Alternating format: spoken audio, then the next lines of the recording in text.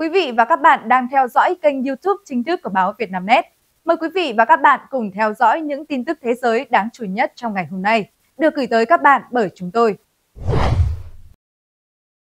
Mỹ lần đầu tiên điều máy bay ném bom tàng hình B-2 tấn công lực lượng Houthi ở Yemen. Theo bà quan chức quốc phòng Mỹ, nước này đã thực hiện một loạt cuộc tấn công ở Yemen nhằm vào lực lượng Houthi do Iran hậu thuẫn trong tối ngày 16 tháng 10, nhằm vào các cơ sở lưu trữ vũ khí, bao gồm cả các cơ sở dưới lòng đất. Các quan chức cho biết các cơ sở này chứa các loại vũ khí truyền thống tiên tiến, được sử dụng để nhắm vào các tàu quân sự và dân sự ở Biển Đỏ và Vịnh Aden. Theo một quan chức, Cuộc tấn công được thực hiện bởi máy bay ném bom B-2 Spirit, đánh dấu lần đầu tiên Mỹ sử dụng máy bay ném bom tàng hình chiến lược để tấn công lực lượng Houthi ở Yemen kể từ khi bắt đầu chiến dịch của Mỹ. B-2 là một nền tảng lớn hơn nhiều so với các máy bay chiến đấu từng được sử dụng tấn công các cơ sở và vũ khí của Houthi, có khả năng mang khối lượng bom nặng hơn nhiều. Cuộc tấn công vào nhóm ủy nhiệm do Iran hậu thuẫn xảy ra vào thời điểm căng thẳng rất lớn trong khu vực. Israel dự kiến sẽ trả đũa vụ tấn công tên lửa gần đây của Iran trước cuộc bầu cử Mỹ ngày 5 tháng 11.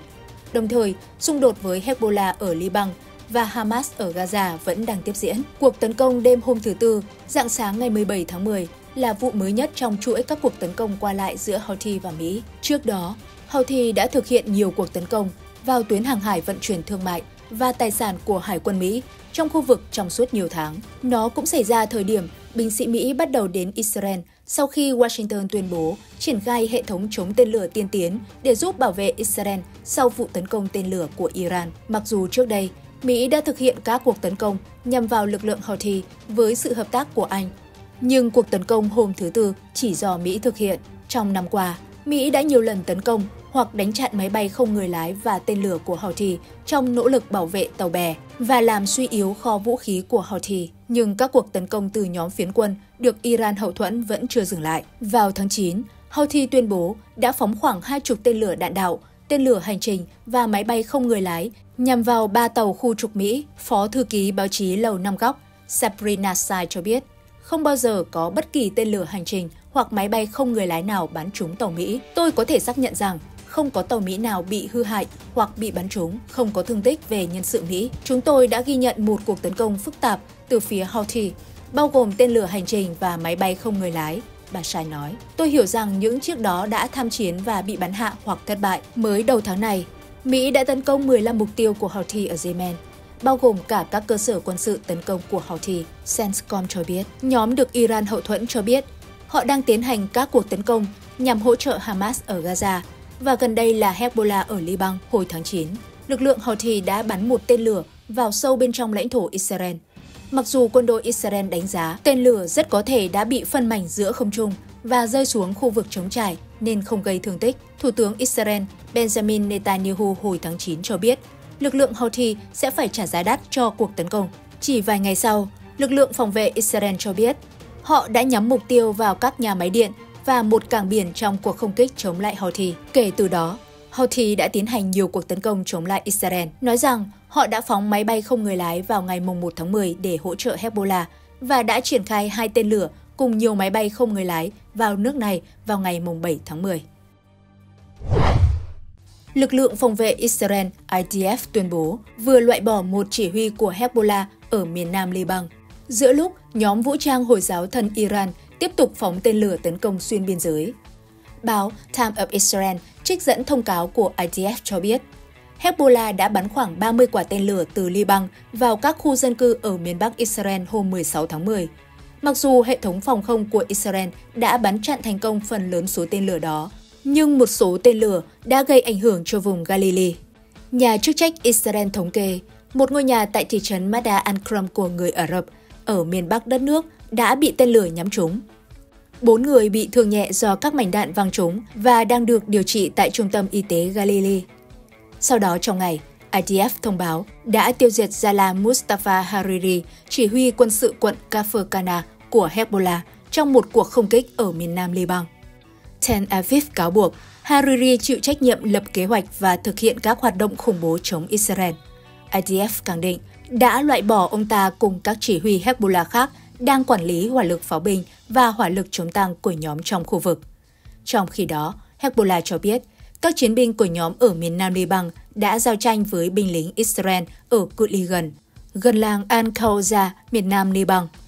Tuy nhiên, Hezbollah không đề cập đến tổn thất của nhóm trong sự cố. Thiếu hụt nghiêm trọng tên lửa đánh chặn, Israel đối mặt nguy hiểm gia tăng. Theo tờ Financial Times, hệ thống TASS của Mỹ không chỉ giúp Israel lấp đầy khoảng trống thiếu hụt đạn dược, mà còn đề phòng một cuộc tấn công khác từ phía Iran sẽ làm căng thẳng hệ thống phòng không Israel. Vấn đề đạn dược của Israel hiện rất nghiêm trọng, bà Dana Shaw, cựu quan chức quốc phòng cấp cao Mỹ, phụ trách chính sách Trung Đông cho biết. Theo bà Shaw, một phản ứng kết hợp giữa Iran và nhóm vũ trang Hezbollah ở Liban sẽ làm căng thẳng hệ thống phòng không Israel giữa lúc Mỹ cũng đang gần điểm giới hạn. Mỹ không thể tiếp tục cung cấp cho cả Ukraine và Israel với tốc độ như hiện nay, bà nói.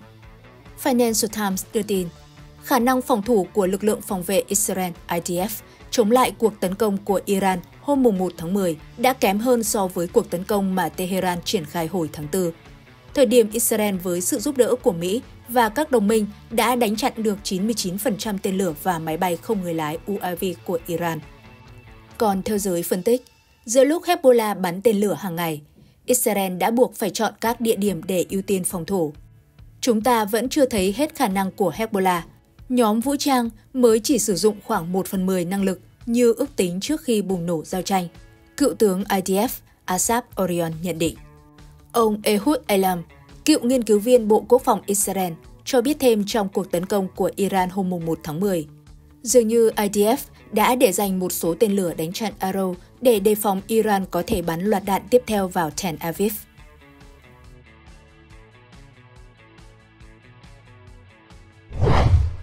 Theo thông tin được trang CNN trích dẫn từ truyền thông Nigeria, vụ nổ thảm khốc xảy ra vào khoảng 12 giờ 30 cùng ngày giờ địa phương, cũng khiến 50 người khác bị thương nặng phải nhập viện.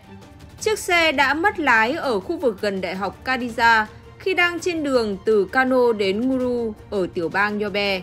Lawan Adam, một sĩ quan cảnh sát địa phương cho hay, người dân đã vội vã đến thu gom xăng trào ra sau khi chiếc xe bồn bị lật. Người dân đang gom nhiên liệu từ xe bồn bị lật thì vụ nổ xảy ra, gây ra một đám cháy lớn khiến 94 người thiệt mạng tại chỗ. Sĩ quan này cho biết, những người chứng kiến mô tả hiện trường là cảnh hỗn loạn và tuyệt vọng. Nhiều người phải vật lộn để giải cứu những người bị thương giữa ngọn lửa. Sani Uma, một người dân may mắn thoát khỏi đám cháy kể lại, thật kinh hoàng, mọi người chạy tứ phía la hét cầu cứu. Đám cháy lan nhanh đến nỗi nhiều người không thể thoát ra được. Channel Television cho hay đã có được hình ảnh các nạn nhân bị bỏng nặng. Tuy nhiên không thể chia sẻ vì những hình ảnh rất đẫm máu. Một vụ cháy xe buýt đã xảy ra hôm 1 tháng 10 tại tỉnh Pathum Thani, ở phía bắc thủ đô Bangkok, Thái Lan, khiến 22 học sinh và 3 giáo viên thiệt mạng. Trang tin Thai BPS dẫn nguồn tin từ giới chức Thái Lan nói rằng chiếc xe buýt chở theo 44 người, bao gồm các học sinh và giáo viên, trong lộ trình di chuyển từ tỉnh Uthai Thani tới Ayutthaya thì bất ngờ bắt lửa tại tỉnh Pathum Thani. Theo báo cáo sơ bộ, lốp của chiếc xe buýt khi di chuyển đã bị nổ, khiến xe mất kiểm soát và đâm vào rào chắn kim loại tạo ra tia lửa. Tia lửa sau đó tiếp xúc với bình xăng liền gây hỏa hoạn. Ngay khi lửa bốc lên, 19 trong 44 người có mặt trên xe đã nhanh chóng thoát khỏi đám cháy. Theo Bangkok Post, 22 học sinh và 3 giáo viên đã thiệt mạng.